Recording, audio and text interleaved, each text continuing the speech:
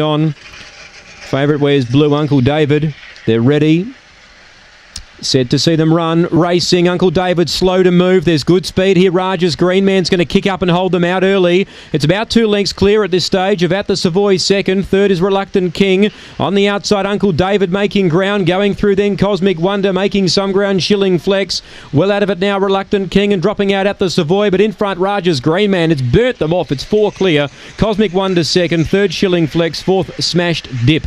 Then came Uncle David in trouble. Further back in the field elsewhere and towards the rear at the Savoy. And back there with it, Reluctant King.